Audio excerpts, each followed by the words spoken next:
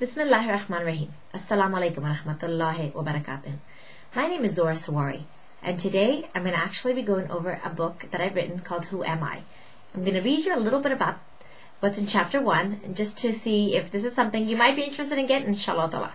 Um, this is what the book looks like if you have not seen it yet. Inshallah ta'ala, I'll begin.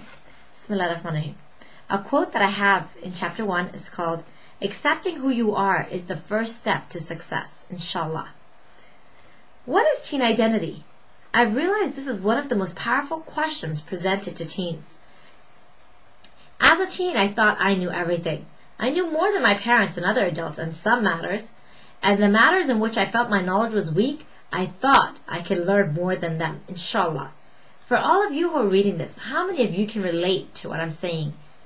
Do you agree? Do you disagree? I know that most of you are probably laughing and are probably saying, I agree.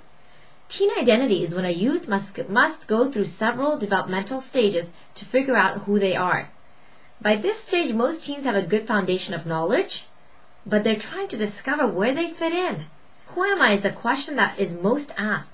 What's more interesting is when teens try to identify who they want to become. This can be a time of empowerment or loss. Some teens have a great role model to look up to, while others don't. And I'll leave you off at that. So that's the beginning of the book. It starts off with some questions and inshallah hopefully takes you through some stages to help you discover who you are and who you want to become. Inshallah.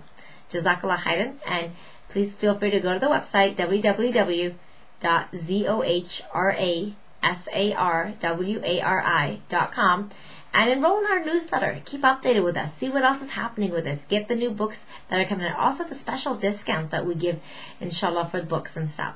So be part of it and inshallah seek knowledge. Keep growing, keep moving and find out who you are. Assalamu alaikum wa rahmatullahi wa barakatuh.